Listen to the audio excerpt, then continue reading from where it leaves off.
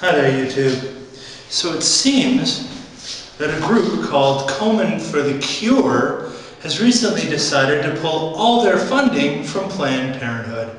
Well, ain't that fucking special. They've donated to this organization over a million dollars, and this money has gone to, you know, giving women in urban areas the ability to get screened for breast cancer, to get contraception, to get all sorts of health benefits that have nothing to do with abortion, by the way, for women in poor areas. And, um, well, now they're being given no options. Because Komen for the Cure apparently decided that they had to cut the funding they were giving to Planned Parenthood. Over a million dollars just pulled, right? Just gone. Well, that's a lot of money. I wonder why. Well, according to a lovely Republican senator, the Planned Parenthood is under investigation because they're using public money to fund abortion.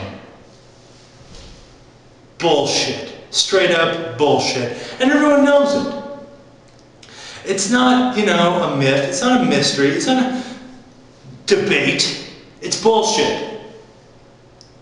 But of course, Komen for the Cure has totally bowed to it and kowtowed to the weak Republican Party who's been looking forever, for fucking ever, to get rid of Planned Parenthood and to get rid of abortion and to get rid of women's rights. What was it that George Carlin said about these conservative white women? Oh yeah, right life. You know what they are? They're anti-woman. Simple as it gets. Anti-woman. They don't like them. They don't like women. They believe a woman's primary role is to function as a broodmare for the state. Well, there you saw it. It's pretty black and white there, isn't it?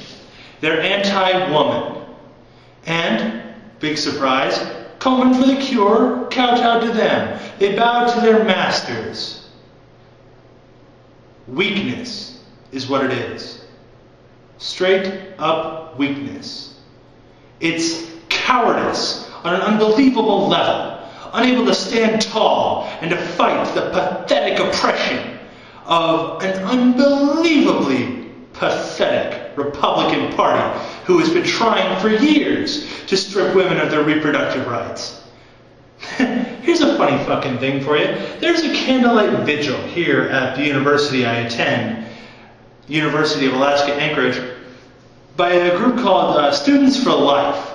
There was a candlelight vigil in honor of Roe v. Wade.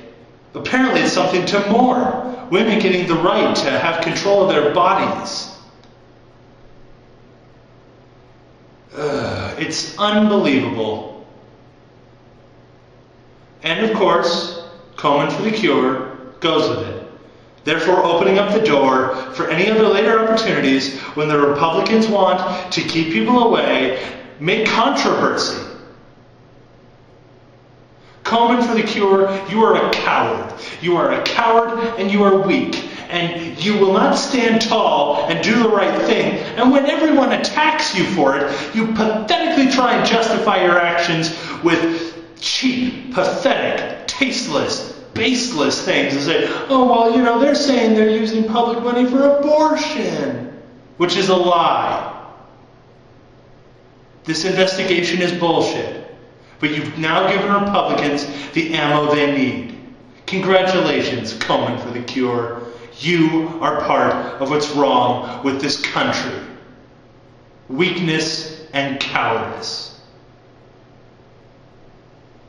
My name is Lucien Maverick. Peace out, and may God be less. Fuck you, Komen for the cure.